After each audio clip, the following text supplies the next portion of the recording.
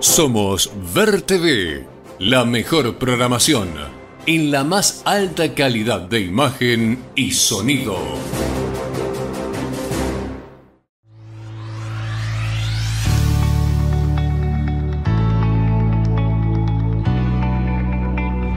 Comuna de Santi Espíritu. Sigamos cambiando. Vamos juntos. Gestión César Bainotti.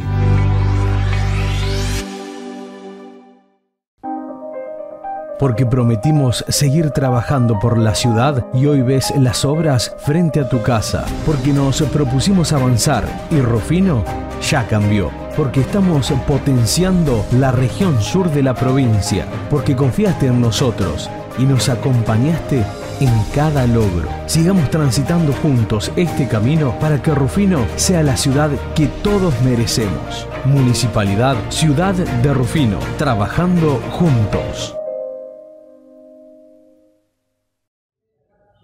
Transcurrió una semana, la que nos separa de cada encuentro y como siempre, lo prometimos y aquí estamos. Esperemos que ustedes, cada uno de ustedes, estén también del otro lado para seguir sumando kilómetros a través de la propuesta Nuestros Pueblos, Nuestros Barrios. Como siempre, ubicarnos geográficamente. Nos encontramos en el canal Ver en el barrio Bernardino Rivadavia, en la ciudad de Venado Tuerto, al sur de la Bota Santafesina y seguiremos sumando kilómetros junto a ustedes a través de cada una de las voces. Como siempre, agradecerte a vos, a todo el equipo. Hacemos esta recorrida que nos lleva en primer lugar a la presentación del programa para así luego ya empezar a descubrir las voces de estos últimos días.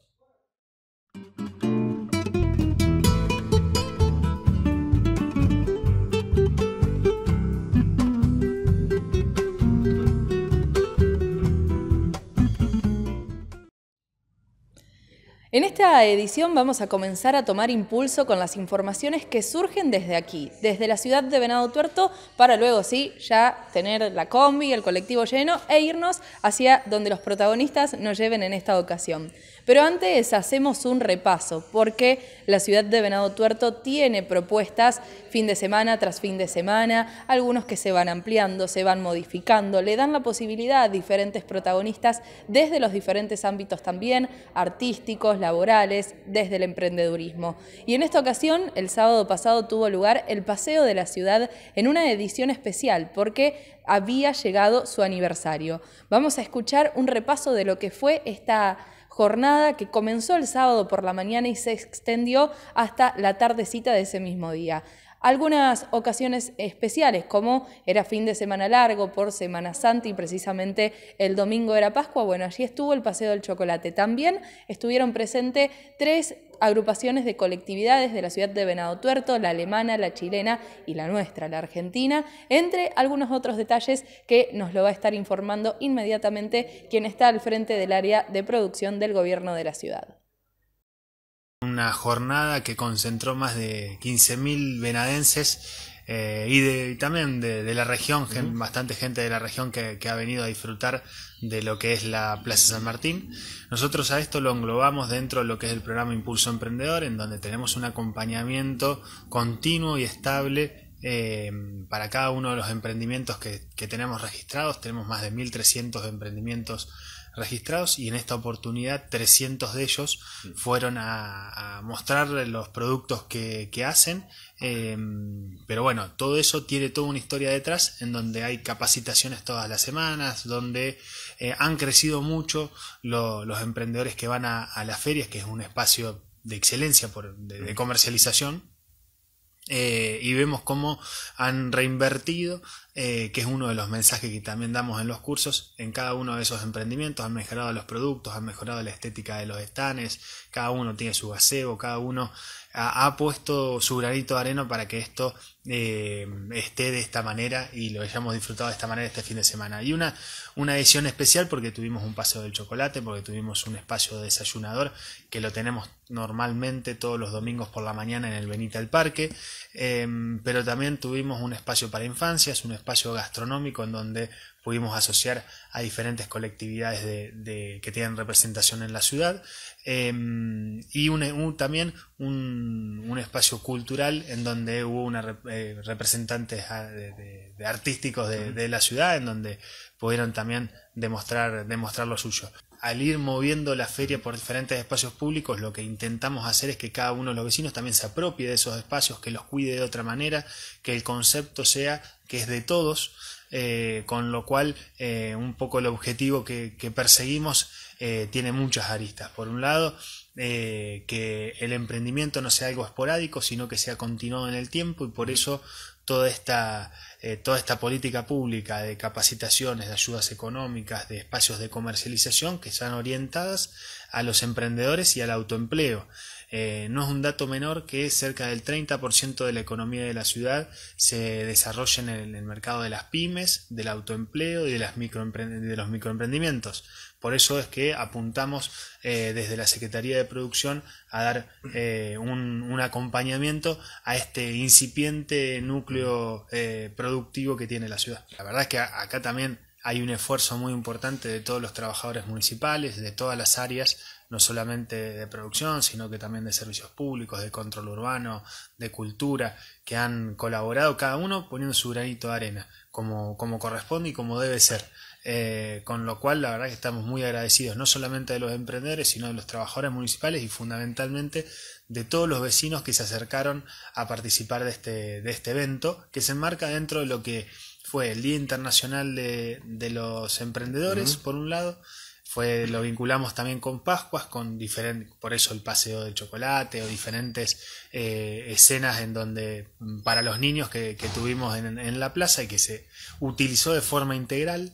Eh, y por otro lado, lo que es el aniversario de la ciudad en donde hay diferentes actividades que se desarrollan fundamentalmente desde cultura y nosotros aportamos con esta feria eh, para, para el mes aniversario. Y en este caso nos informábamos acerca de lo que pasó. Por supuesto, vendrán más ediciones próximamente, pero esta se destacó. Ahora esperaremos nuevas fechas. Por otro lado, hablamos de lo que va a suceder. Mejor dicho, la secretaria de Territorialidad y Desarrollo Cultural, Miriam Carabajal, anticipa en este mes de abril, mes de aniversario de la ciudad de Venado Tuerto, precisamente el día 26, qué sucederá con esta institución cultural. Hablamos del centro municipal que ha transitado varios años allí cerrado, pero nunca quieto, porque las obras paso a paso se iban concretando y al parecer llegó el momento de abrir las puertas, de comenzar a correr los telones, de volver a disfrutar desde las butacas de las distintas propuestas en este lugar. Vamos hacia esta información. Esta etapa donde se está trabajando muchísimo adentro y a veces salir también es tomar la perspectiva de algunos detalles o de mirar, digamos, también ahora eh, saliendo del, cultural un poco el entorno y cómo nos vamos a preparar para el 26 digamos, para, para la inauguración especialmente, ¿no? Entonces empezamos a, a mirar ya otros detalles en el contexto del, del espacio del cultural. Pero como decís, todo el equipo eh, de todas las áreas, todos trabajando, todos priorizando también en este tiempo eh, la reinauguración del cultural. Eh, los cortinados, digamos, también salen por una cuestión de seguridad también, digamos, ya, ya había un informe de bomberos muy eh, de, larga data, digamos, donde estaba la sugerencia también esta de reconsiderar porque necesitan un tratamiento permanente, así que, bueno, eso eh, se reconvierte con placas ignífugas. Eh, también hicimos un estudio de sonido, vino un ingeniero en sonido de Buenos Aires, de Rosario, también para las sugerencias, digamos que sugerencias para conservar la acústica.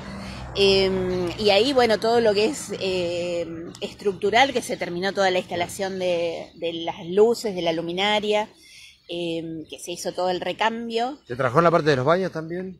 eso ya venía, ah. eso ya se había hecho, era parte de la, de la etapa esta de la licitación que de la empresa que estaba trabajando acá.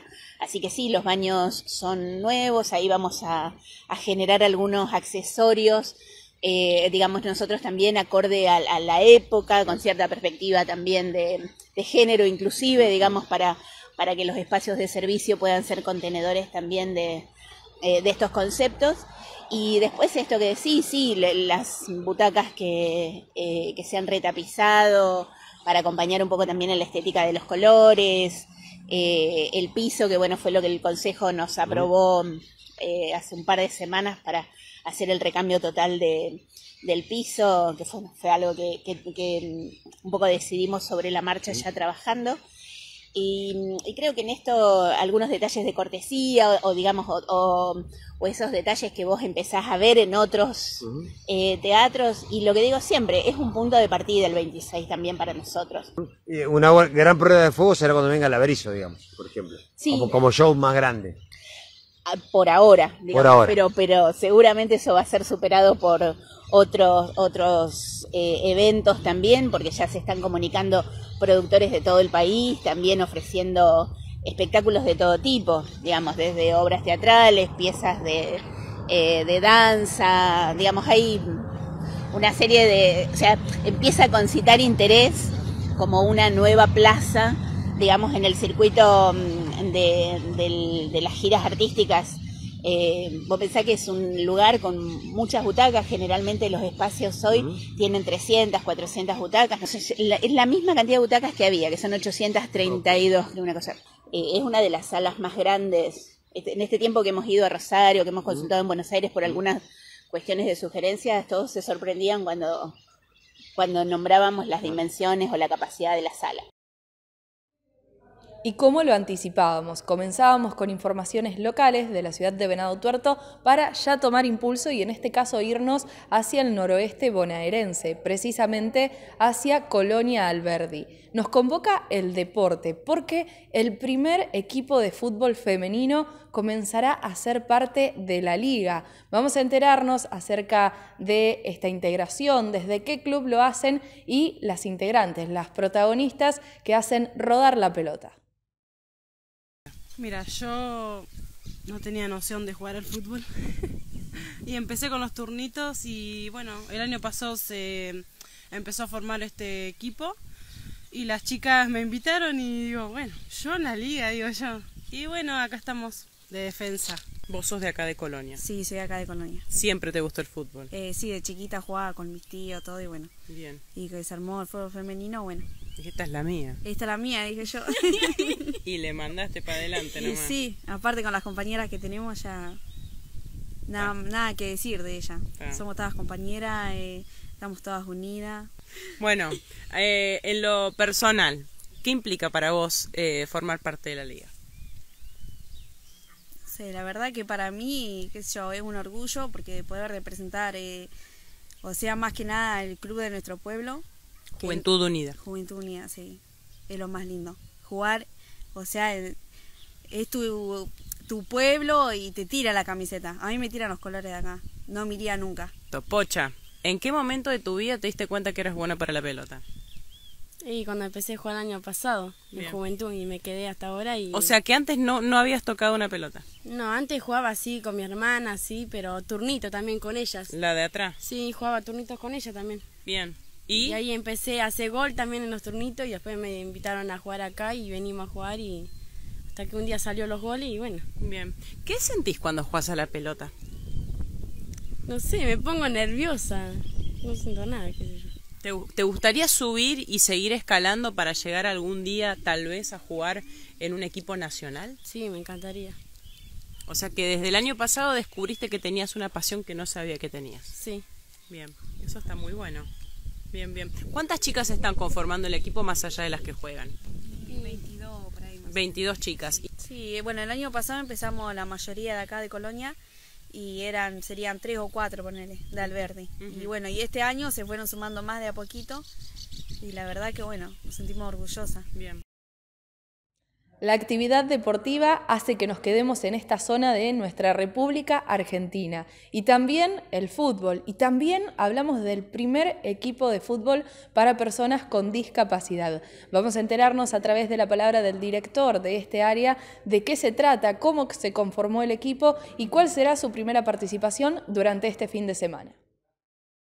Sí, la verdad que contento porque ayer pudimos presentar el equipo en, sociedad. Eh, Gardo... Eh, los recibió, los saludó, así que bueno, ahí en el Consejo Liberante. eh, con los chicos, con la familia, se le entregó la indumentaria. Y bueno, ¿de qué se trata? Están las Olimpiadas Nacionales, eh, las Olimpiadas Especiales, eh, que le toca hacer sede a Junín. Para Olimpiadas se denominan, ¿no? estas son Olimpiadas Especiales, Ah, está. que le toca hacer sede a Junín. Estamos hablando de fútbol. Y bueno, el municipio de Junín nos invitó por primera vez. Eh, es la primera vez que el distrito tiene, tiene un equipo representante, eh, al cual también lo vamos a llevar a los Juegos Bonaerenses, pero bueno, la, la competencia primaria que va a estar durante todo el año eh, realizándose en Junín, en el complejo municipal, es, es la de fútbol, eh, fútbol PSD, digamos. Así que bueno, está integrado por chicos de acá del, del distrito y bueno, ayer Bien. pudimos hacer la presentación. Bien, ¿cuántos chicos integran el equipo? Son ocho chicos, que son los que nos permite el reglamento. Eh, va a estar Melina Roldán, que va a ser la, la entrenadora y va a estar eh, acompañada por todo el equipo de la Dirección de Deporte.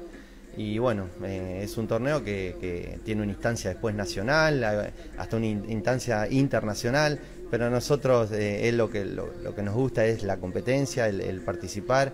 Los chicos armamos un grupo de WhatsApp y están re contentos con su familia, ayer luciendo la, La la- las camiseta. camisetas, que, que en el año mundialista la, la quisimos hacer de, de Argentina, ¿no? Me encantó. Eh, así que bueno, ellos eligieron su número, eh, se la- las personalizamos también.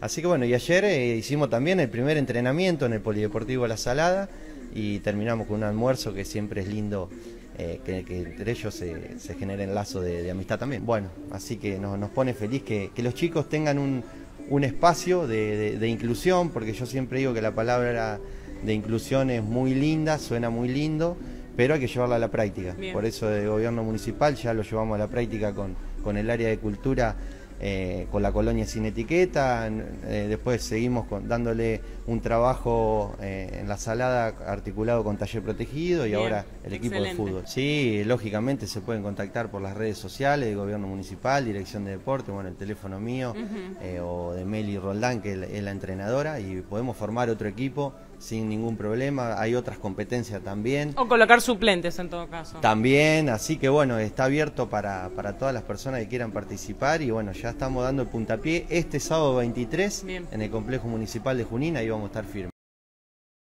Regresamos a Venado Tuerto porque la información nos convoca nuevamente aquí. Nos vamos a uno de los colegios de la ciudad porque hubo una conferencia donde los protagonistas serán próximamente los jóvenes, pero en esta ocasión vamos a escuchar la palabra de algunos directivos de la institución educativa y también de autoridades locales y provinciales. En esta ocasión llegará próximamente el certamen intercole- intercolegial de juegos electrónicos.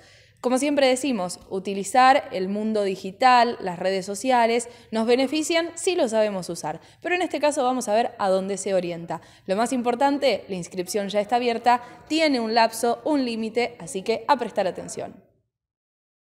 Nosotros en el año 2018 hicimos una primera experiencia muy sencilla, que nada tiene que ver con la escala en la que Félix está trabajando.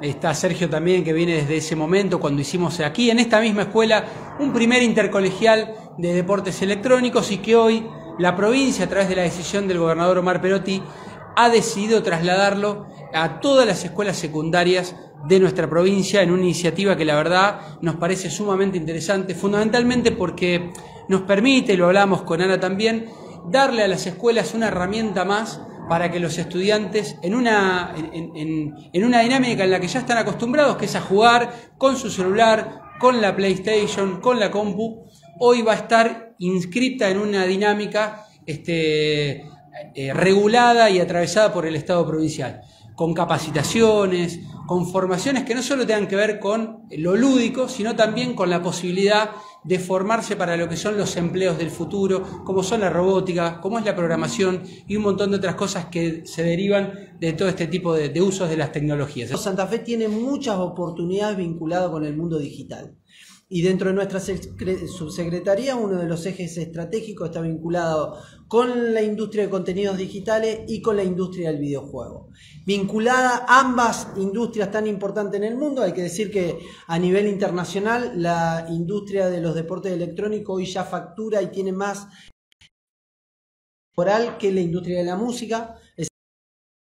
Decir, los usos y los consumos de los bienes culturales se han venido modificando a pasos agigantados. La que hoy estamos lanzando, que para nosotros es quizá la más importante porque es la que siembra la semilla de todo este derrotero que vamos a tener durante Venado Tuerto, no solo tiene el privilegio de tener la primera asociación de deporte electrónico de la provincia, sino el primer intercolegial que se hizo, que se hizo en esta escuela en 2018 y las inscripciones están abiertas del 8 de abril hasta el 15 de mayo para competir en eh, cinco juegos con cinco plataformas diferentes. Cuando arrancamos allá en el 2018 con el primer eh, intercolegial, eh, parecía algo raro, pero bueno, estamos como que cada vez ingresando a los alumnos en un mundo donde donde lo necesitan sí o sí en el trabajo o para, para cualquier salida laboral eh, es inminente. Así que bueno, desde el Nacional 2, como siempre, a disposición y estamos muy contentos de formar parte. Este certamen de juegos electrónicos será entre diferentes colegios y seguimos en el ámbito de los jóvenes, que los tiene como protagonistas y los invita a hacer acciones desde diferentes ámbitos. En este caso, luego del receso por una pandemia de por medio, como ha sucedido en muchísimos ámbitos y aspectos, también afectó a esta actividad, pero el 2022 tendrá su décima novena edición y hablamos de ONU, el modelo de Naciones Unidas, esto que genera en la ciudad de Tuerto el encuentro también de estudiantes de diferentes colegios, de diferentes niveles además, e incluso la llegada también de estudiantes y jóvenes de la región colman las calles de Venado Tuerto en muchos casos y los vemos vestidos con los atuendos típicos representando a cada nación. En este caso hubo una conferencia también que tuvo como protagonista a los jóvenes, a los integrantes de esta asociación que llevan adelante el programa, pero además la compañía de la Dirección de Juventud del Gobierno de Venado Tuerto. Y como municipios estamos muy contentos de poder, después de esta pandemia y después de muchos altibajos en estos últimos años, poder volver a celebrar en conjunto un modelo que literalmente le cambió la vida y le sigue cambiando la vida a las y los jóvenes de nuestra ciudad. Asociación Conciencia Nacional cumple 40 años y nuestra sede de, Venado Tuerto 20 años, así que eh, un año que va a estar trazado por la historia, por la fuerza, por la energía y obviamente por la vuelta a la presencialidad de esta oportunidad para que los jóvenes eh, aprendan sobre el diálogo y muchas otras cosas más. El modelo es una representación de las Naciones Unidas, se llama Programa Uniendo Metas. Se viene haciendo en Venado desde el año 2003. Eh, bueno, por la pandemia hubo un año que no lo pudimos hacer en el 2020, pero ya para el 2021 apostamos a renovarnos y encararlo desde un formato virtual. Todos los años se proponen distintas líneas de trabajo, distintas temáticas que lo que tiene de novedoso para los alumnos es que no rondan en los temas que se trabajan en la currícula escolar, sino que escapan un poco de eso y los hace formar más parte del contexto en el que uno vive internacional y no solamente eso, sino también desde un perfil ciudadano y de ejercicio democrático. Los chicos trabajan temas que tratan desde la salud, la educación, la política exterior, y para este año los temas que se van a trabajar fueron propuestos por distintos voluntarios de todo el país. El programa no solo se hace en Venado Tuerto, sino también en distintas localidades del país. Y todos los voluntarios año a año son consultados por la sede principal que se encuentra en Buenos Aires para saber qué líneas de trabajo les gustaría encarar años siguientes. Y es por eso que este año se propusieron temas más actuales, como pueden ser, por ejemplo, el conflicto de Ucrania, se va a estar trabajando se va a trabajar también la oportunidad laboral. Em, van a estar hablando también, bueno, no, no, sabemos todavía cuáles son, digamos, los tópicos cerrados, eso va a ser una novedad que se va a presentar en la primera capacitación, pero sí queremos que sepan que este año los tópicos son súper actuales, son temas bien de vanguardia, se podría decir, eh, no rozan lo clásico como fue siempre, sino que son un poco más actuales y esperemos que eso convoque bastante a los chicos porque en definitiva son temas que ellos sienten o por redes sociales o por noticias y que quizás no tienen tantas posibilidades para inmiscuirse e investigar un poco más. Lo vamos a hacer en el Colegio Santa Rosa, como lo hicimos hasta 2018, junto con el Centro Cultural, que la municipalidad nos dio el espacio, eh, así que muchas gracias por eso. Eh, va a ser ahí eh, y digo las fechas, así tenemos como siempre, el modelo es más o menos a esa altura, es el 30 de septiembre, primero y 2 de octubre. Y las capacitaciones son cuatro, la particularidad que tiene este año es que van a ser dos presenciales y dos virtuales. Eh, la primera es el 28 de mayo, que es eh, modalidad virtual. Eh, la segunda es el 25 de junio, que es presencial. después tenemos el 20 de agosto, que es virtual nuevamente. y el 24 de septiembre es presencial porque es el simulacro del modelo, que se hace siempre una semana antes. también quería, bueno, recordarles los canales de comunicación con nosotros. el principal es el Instagram, que es UM Venado Tuerto, así que ahí nos pueden escribir cualquier duda, ya sea alumno, docente o la institución en sí, eh, porque ya estuvimos mandando el, mail de invitación a los colegios eh, y bueno, siempre pasa que por ahí eh, a alguien no le llega y quieren estar enterados y participar del programa, nos pueden escribir por ahí. En estas últimas noticias teníamos a los jóvenes siendo protagonistas, por supuesto, con el acompañamiento, intervención y también coordinación de algunas otras personas más adultas. En este caso nos vamos a General Arenales y la protagonista es Betty. Vamos a conocer en primera persona cómo transitó estos últimos meses, quizás con un recreo, pero ahora retomando la actividad. Una peña folclórica, vamos a enterarnos de qué se trata y también sobre su aprendizaje, porque ella nos dice, nunca es tarde para hacer lo que nos gusta. Vamos en búsqueda de sus palabras hacia General Arenales.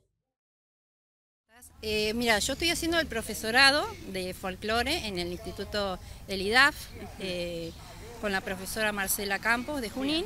Bueno, así que bueno, empezamos con poquitos, eh, me empezaron a llamar, vamos a, o sea, más los adultos que los menores. Que los menores. Claro. Eh, así que bueno, estamos los miércoles a las 21 horas en el centro cívico. Y los, bueno, ahora empezamos los lunes también porque bueno, somos muchos y los que recién empiezan como que se sienten incómodos a los que ya saben. Bien. Eh, los viernes a partir de las 17 17.30 eh, están los menores, 18.30 los juveniles. Eh, ¿A qué edad empezaste vos a bailar? Bueno, yo empecé en la escuela. Mm. Lo que pasa que en ese tiempo eh, no había ninguna persona que enseñara folclore en Arenal. Yo vivía en el campo y bueno, cuando Romina y Claudio empezaron la escuela, empezó Marta a dar clase acá en, en la Sociedad Española y bueno, ahí ya hasta entre todos los traía yo para que ya después nos metimos con mi marido en el grupo adultos, competimos en distintas eh, en distintos eh, festivales, bueno, eh, se armó un grupo muy lindo, bueno, después por distintas cosas unos se van, otros vienen, qué sé yo, bueno, los juveniles se van a estudiar, y como que la peña se desarmó un poquito. Bueno, eh, yo les doy mi número de teléfono que es eh, 2364 60 63 54 o si no los espero en el centro cívico los lunes a las 21 horas y los miércoles, eso es para adultos. Bien. Eh, después tengo eh, los menores el viernes a las 17.30 y juveniles 18.30. La recorrida, este viaje de una nueva edición ha terminado por hoy. Por supuesto, vos ya sabés que he transitado los días correspondientes, una semana precisamente, volveremos a encontrarnos para intentar hacer un resumen de estas voces que se destacan desde distintos puntos y desde otros ámbitos también de la realidad. Te decimos hasta pronto, cuídense, que tengan un gran fin de semana. Gracias.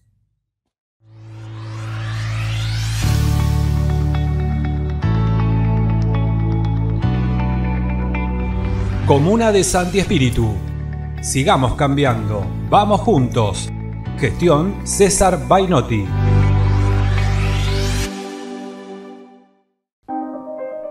Porque prometimos seguir trabajando por la ciudad y hoy ves las obras frente a tu casa. Porque nos propusimos avanzar y Rufino ya cambió. Porque estamos potenciando la región sur de la provincia. Porque confiaste en nosotros y nos acompañaste en cada logro. Sigamos transitando juntos este camino para que Rufino sea la ciudad que todos merecemos. Municipalidad Ciudad de Rufino, trabajando juntos. Una producción de Multimedio GS.